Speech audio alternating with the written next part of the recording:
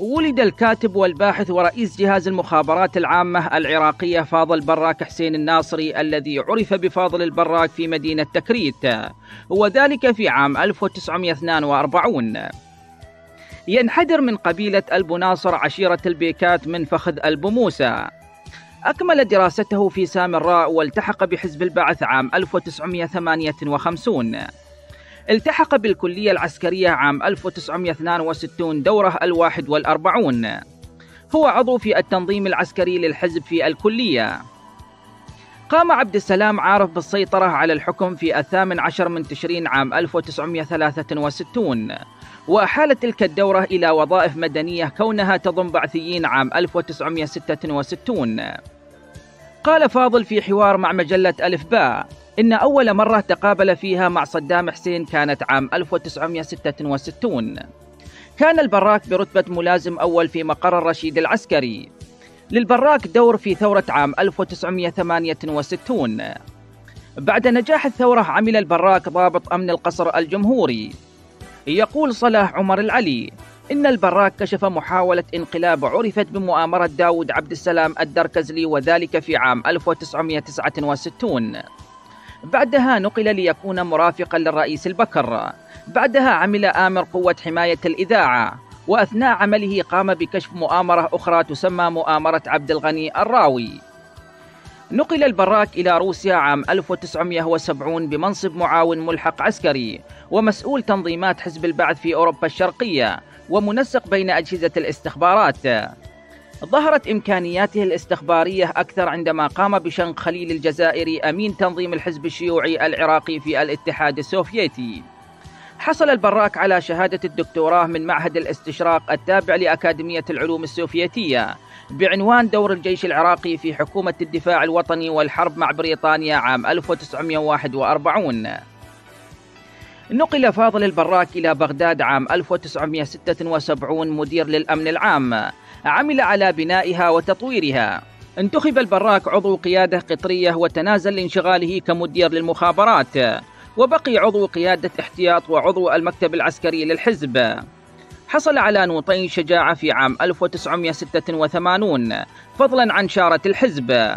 عام 1989 نقل فاضل البراك من المخابرات إلى ديوان رئاسة الجمهورية.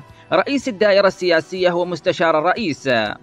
بعد احتلال الكويت يقول عبد الملك الياسين في لقاء تلفزيوني شكلت لجنة بأمر الرئيس صدام ورئيسها البراك والياسين وعدد من أساتذة الجامعات أعضاء في اللجنة لتقديم رأي للرئيس صدام حول أزمة الكويت والتهديدات الأمريكية للعراق. أوصت اللجنة بضرورة الانسحاب وخطورة الوضع.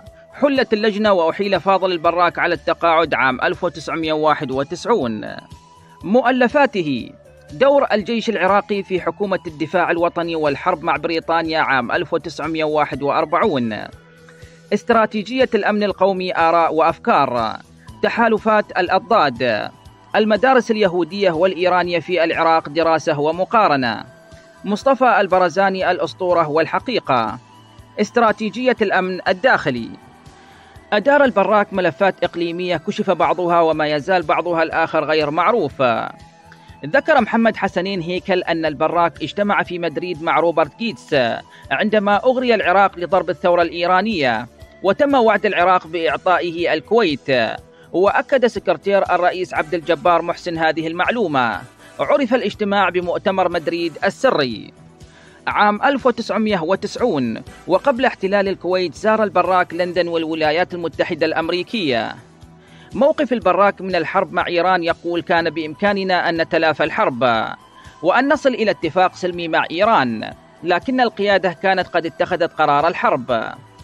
كلف البراك بإعادة العلاقات مع ليبيا ونجح بإعادتها وتحييد الرئيس القذافي عن إيران بعد سنوات من دعم ليبيا لإيران. استطاع البراك أثناء الحرب الأهلية اللبنانية أن يكون للعراق دور هناك وكانت له علاقة مع سمير جعجع والرئيس أمين الجميل أثناء مواجهة ما للنفوذ الإيراني والسوري.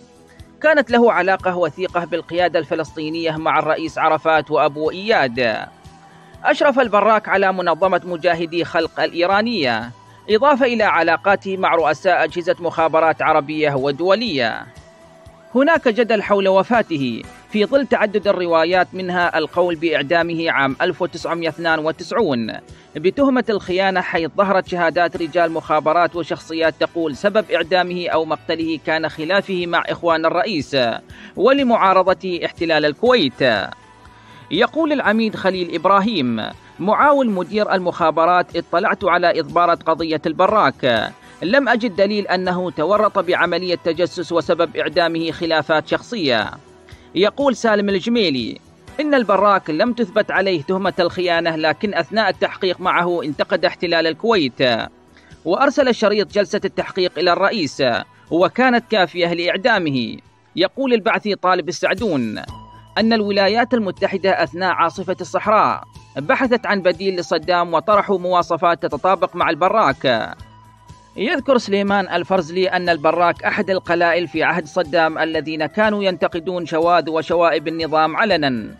وذكر نزار الخزرجي أنه نصح البراك بأن يضبط لسانه ويلزم الحذر في كلامه عن سياسات النظام.